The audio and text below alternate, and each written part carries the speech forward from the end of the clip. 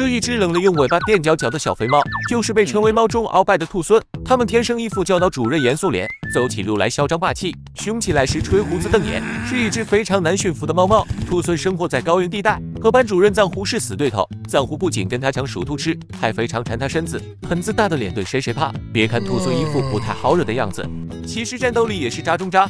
作为伏击小猎手，动作理应要迅速，但是兔狲跑起来却是一步一卡卡的潇洒，一步一停顿的不行，用五 G 的脑子迈着两 G 的步伐，小短腿比柯基还尴尬，以至于平时只能靠一流的躲猫猫技术躲避天敌。